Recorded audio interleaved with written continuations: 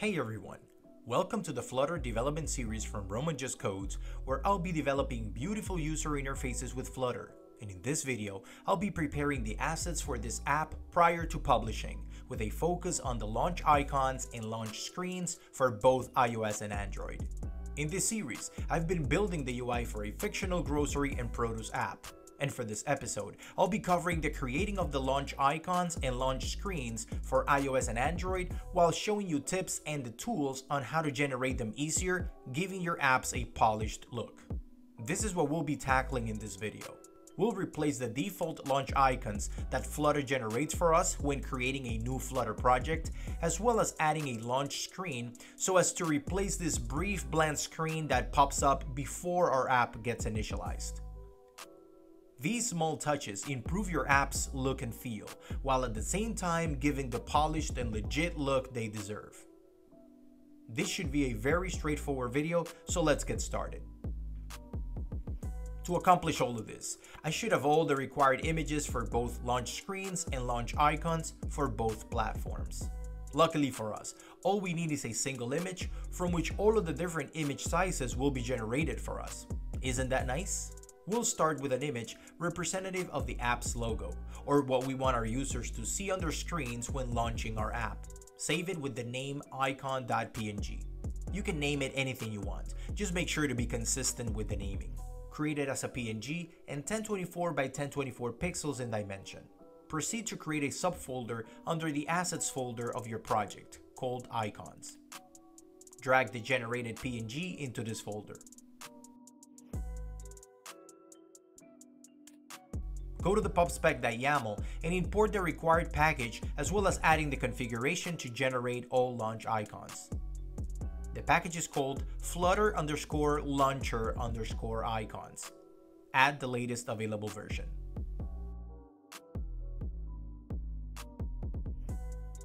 Add the configuration required by this package. Create a root section in this YAML called flutter underscore icons.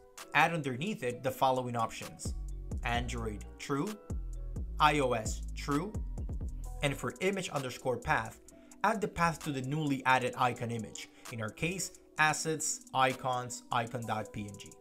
The package will find this image, grab it, and generate all launch icons accordingly. Save the YAML file so the package gets installed.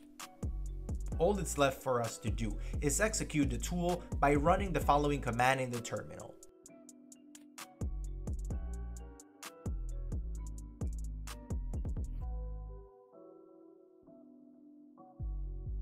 Hit enter. Let's verify that the icons are generated correctly. For Android, you can navigate to Android, App, Source, Main, Res, and under each of the device DPI folders, you will find an IC underscore launcher.png image generated by the tool. For iOS, you can view the generated images by launching Xcode and opening the Runner project and navigating to the runner assets.xc assets file and selecting the app icon option. There, you will see all the corresponding images for all your supported devices and even for the App Store. Let's rerun the application to get the icon to update appropriately.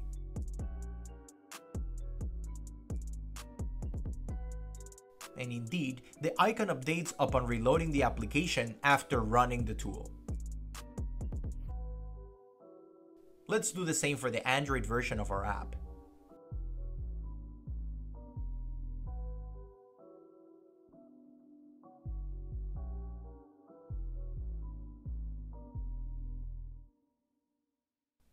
There's our updated icon as well. I believe we're all set as far as launch icons. Now let's take care of this brief blank screen that gets shown before initializing our app. Let's start with the iOS launch image we'll go back again to the iOS Runner project for this app.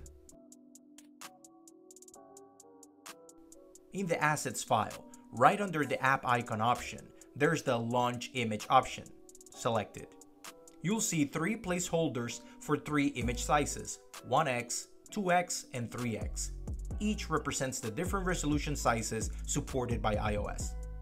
Make sure to have your three images ready, the original size, twice the original, three times the original.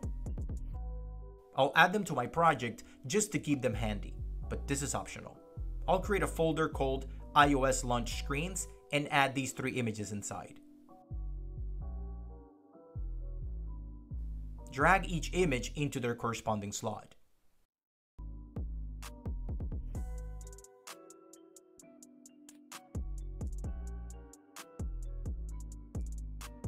Notice we're supporting Universal by default. I'd rather just target a single device for now, in my case just iPhone, so check only that one. I'll drop the same images there.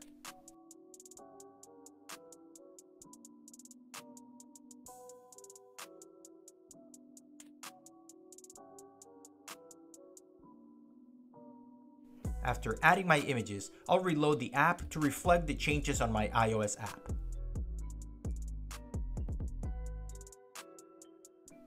You saw the launch image display for a brief moment, right before our custom splash screen. I almost nailed it as far as sizing it so it matches the location of the splash screen logo. Relaunching, looking real nice.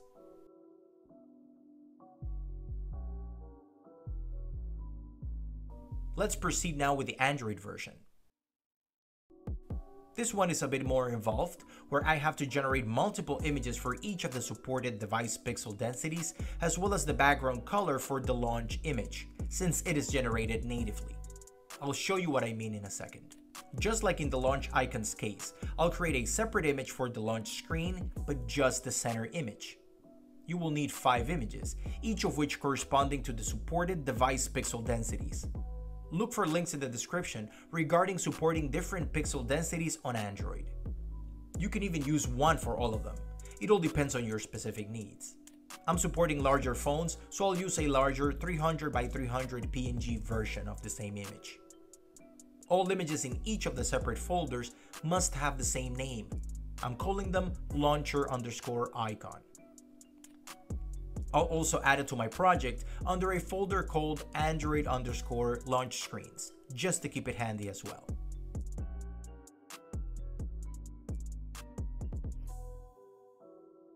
Now, add the launcher icon image to each of the supported DPI folders inside the resources folder of the Android version.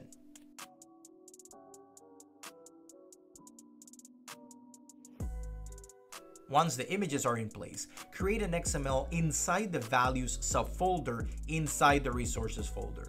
Call it colors.xml. Drop this little XML structure and now let me break it down for you. This XML is how you define values for resources used by the system. In my case, a color value that the launch screen utility will use to paint the screen with a color. I'll use my app main color for that. You have two colors, one called IC Launcher Background. This is if your main logo image supports transparency and you want to add a background color to it. I don't need it, but just to show you how you can use the values that come out of the box for you. Then I add my own custom color value, which I'll call Splash. I'll put the same value. Later, I'll be looking for this value in another resource file. You'll see. Next, go to the drawable folder inside the resources folder and you will see an XML called launchbackground.xml. Now you see where I'm going? Android requires all these configurations to be provided in the form of an XML, so that's exactly what we're doing. Make the following changes. Add an item of type Android colon drawable, which points to the value inside the colors.xml that I defined as splash. This is how you refer to it. This will paint the screen with that color. Then add another item type bitmap and the source will be the corresponding image named launcher icon inside the MIPMAP folder corresponding to the pixel density of the device in which I'm running this app. If I run it on a medium density pixel device, it will pull the one from MIPMAP-MDPI. If it's a high density pixel device, it will pull it from MIPMAP-HDPI, and so on. I'll also copy paste these modifications to this other folder called drawable v21, which corresponds to devices supporting Android API level 21 and above. This way I'm supporting a larger number of device configurations. Let's run the Android version of the app.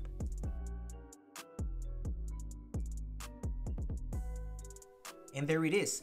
No more blank screens to stare at, Instead, we've branded that piece with our logo and color.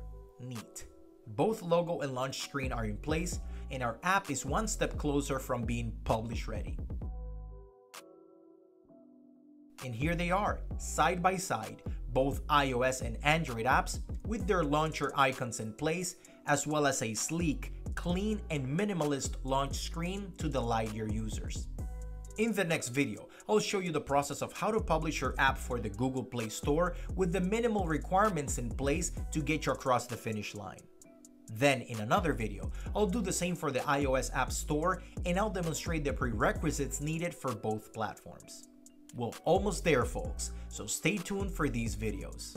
With that, thank you for watching, see you on the next one. That's it for this video, so please stay tuned for more upcoming videos. Hit the subscribe button to stay updated, and please like this video if you found it useful. Thank you so much for watching.